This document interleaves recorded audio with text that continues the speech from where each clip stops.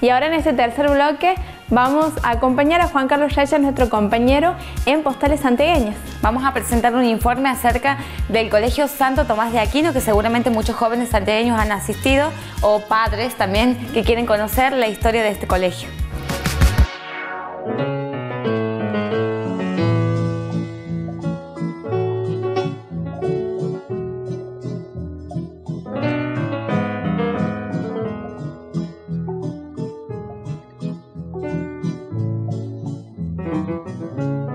Muy buenas tardes, esto es Postales Santiagueñas. En nuestra anterior entrega nos referimos a la plaza del barrio Belgrano Sur y en forma muy especial a la capilla de San José de Belgrano. Hoy lo vamos a hacer sobre el Instituto Santo Tomás de Aquino, una institución educativa de gran prestigio que nació precisamente a partir del accionar de la parroquia de San José de Belgrano.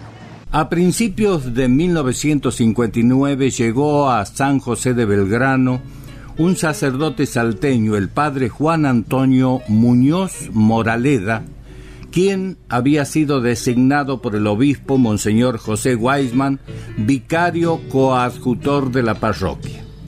El padre Muñoz era asesor diocesano de la Juventud Obrera Católica y profesor de filosofía y teología en el Seminario Conciliar de Santiago del Estero. El sacerdote estaba convencido que la mejor manera para catequizar, para propagar la palabra de Dios, era realizarlo a través de la educación y fue por ello que a poco de llegar abrió las puertas de la escuelita parroquial. En realidad no era nada más que el dictado de cursos de apoyo, una ayuda a los chicos del barrio a hacer las tareas escolares que traían ya desde sus escuelas.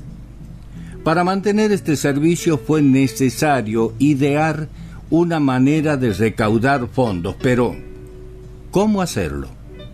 Y bueno, se logró comprar un proyector de películas de 35 milímetros y 300 butacas de madera que pertenecieran al cine Luxor, una sala que había cerrado recientemente en nuestra ciudad.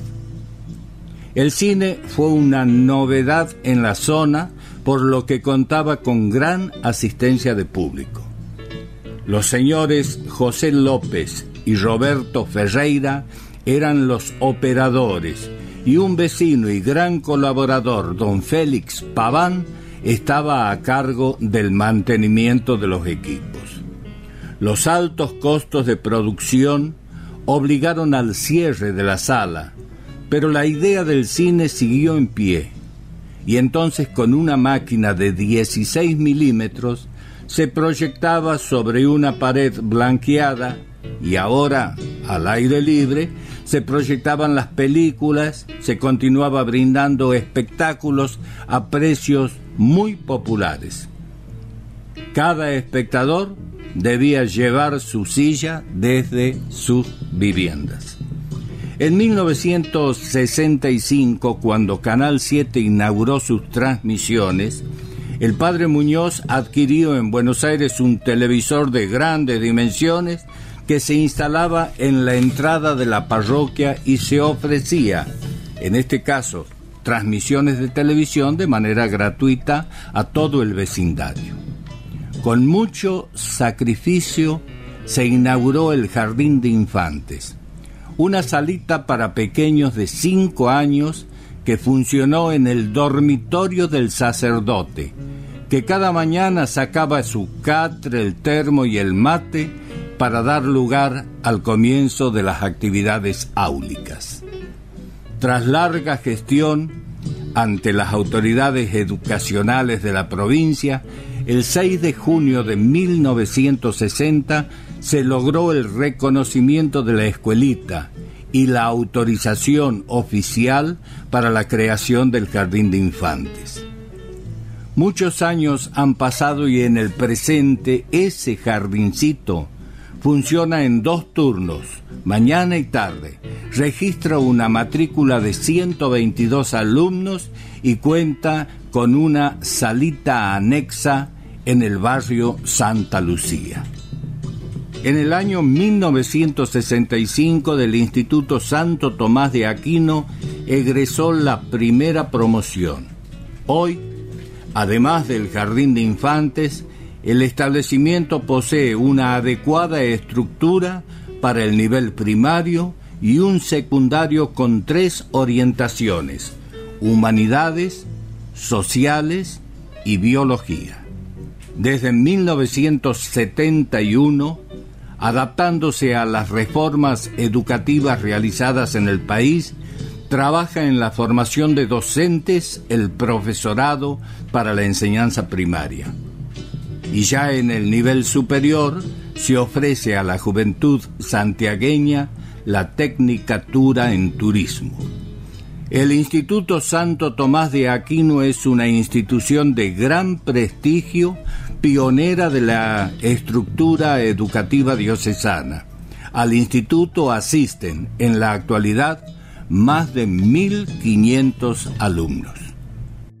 Damos por concluido este repaso sobre la historia, sobre la marcha del Instituto Santo Tomás de Aquino. Nos vamos con la lectura de un pensamiento de su fundador, el padre Muñoz. Pensamiento que dice, eduquen en santidad, eduquen en justicia, viviendo en comunidad fraterna, para que Cristo sea el fundamento del proyecto de vida de cada persona. Esto fue todo por hoy. Muy buenas tardes y muchísimas gracias.